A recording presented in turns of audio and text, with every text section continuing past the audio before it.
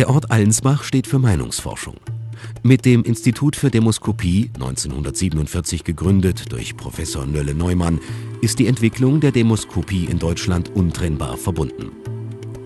Unter dem Motto Allensbach hat's gibt es ein umfangreiches Kulturangebot von Jazz bis zu den Hofkulturtagen zwischen Stroh und Stall.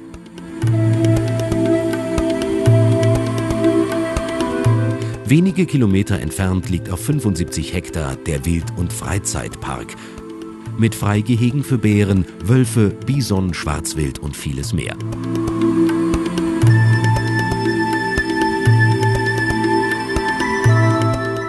Für die Kleinen fährt die Eisenbahn, gibt es eine Wasserrutsche, einen Abenteuerspielplatz, Riesenhüpfkissen und vieles mehr.